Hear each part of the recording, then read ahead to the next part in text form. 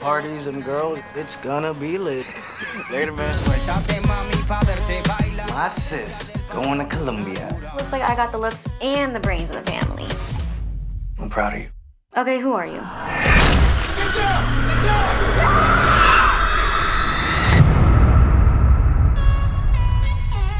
Governor Finn wants all detained immigrants gone by election day. God, I deported. Zero tolerance. The DA is offering to drop charges if he volunteers to help care for senior citizens. At Owl Cove, we truly appreciate you being here to help out our seniors. How am I supposed to eat this nasty ass meatloaf? Psst, Micah, I suggest you say something, you know, because your skin. I'm Argentinian, boludo. If you stick to the program, your time here should be pretty fast and easy. You will die here. Sorry? Ooh, you really got away with the ladies. Getting out of here. What are you talking about? You trying to escape? It was an accident.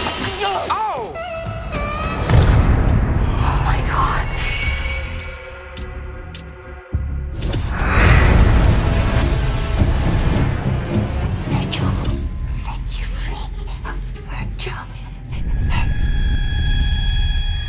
It's okay. Hey,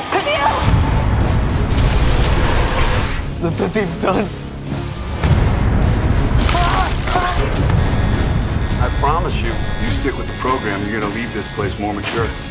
You may even gain a newfound appreciation for life. Mr. Phillips, you okay? Mr. Phillips not breathing.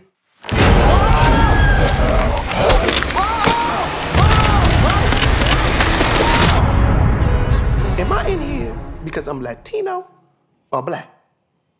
Or both?